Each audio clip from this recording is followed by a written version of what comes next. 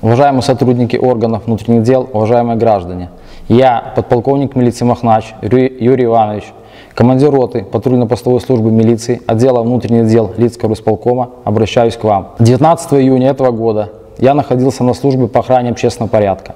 В нашем городе проходила цепь солидарности, поддержание кандидатов в президенты Республики Беларусь, альтернативных кандидатов.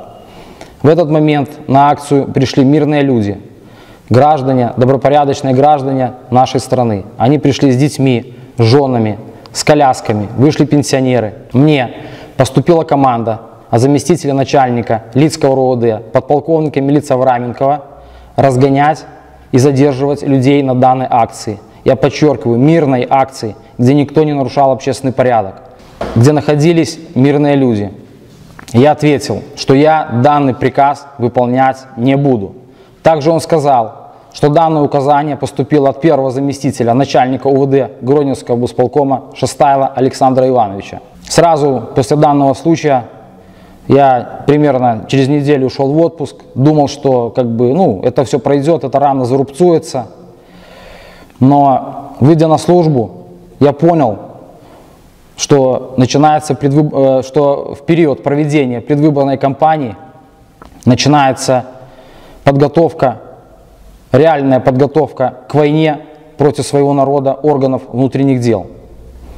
Это идеологическая подготовка и стягивание, э, вы все прекрасно об этом знаете, и техники в город Минск. То есть э, была такая идеология, если действующая власть проигрывает, то каждого из нас будут вешать на суках у дороги. Потому эту власть надо защищать, защищать любыми средствами и способами. Я не смог продолжать службу и перестал ходить на нее. После проведения выборов и оглашения результатов вся Беларусь поняла, что нас жестко обманули.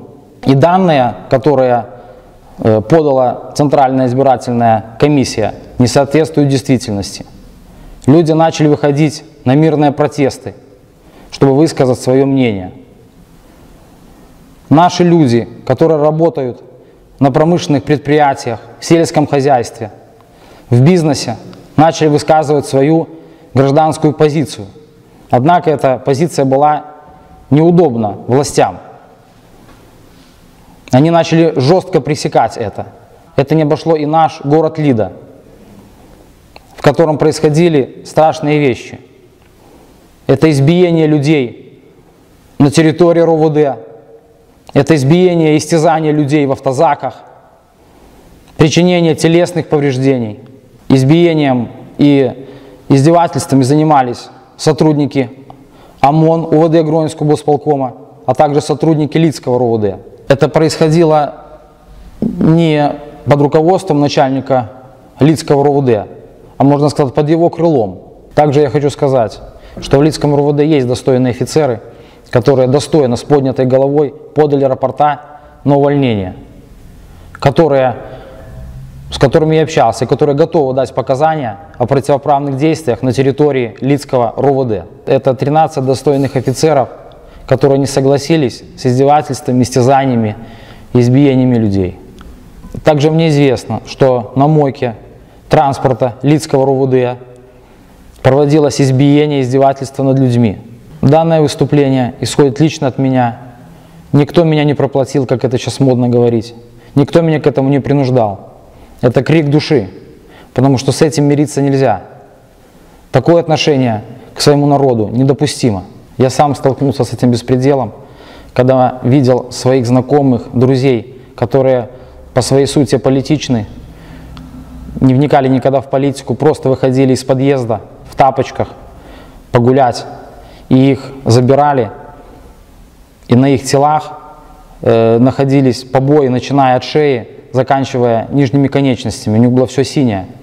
В настоящий момент, уважаемые сотрудники милиции, уважаемые граждане Республики Беларусь, мне стыдно носить погоны сотрудника органов внутренних дел те 23 года, которые я отдал службе, лучшие годы своей жизни я отдал службе в органах внутренних дел, я никогда не мог подумать, что так обернется.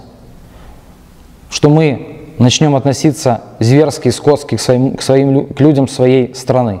В органах внутренних дел я прослужил 23 года, во время, во время прохождения службы в основном э, я встречал порядочных сотрудников, которые защищали права, свободы граждан, граждан нашего города, страны. И это очень, э, это очень похвально, это очень здорово. Но в последнее время видно, что эти сотрудники начинают выполнять преступные приказы, которые им не надо выполнять. Еще не поздно остановиться. Я не призываю ни к насилию, ни к, ни к войне. Я просто призываю остановить насилие над людьми. Мили, милиция это тоже люди. И на другой стороне тоже люди. И в общей массе мы, граждане Республики Беларусь, не должны допустить никакого кровопролития, истязаний, избиений, смертей. Мы должны разбираться цивилизованными средствами и способами.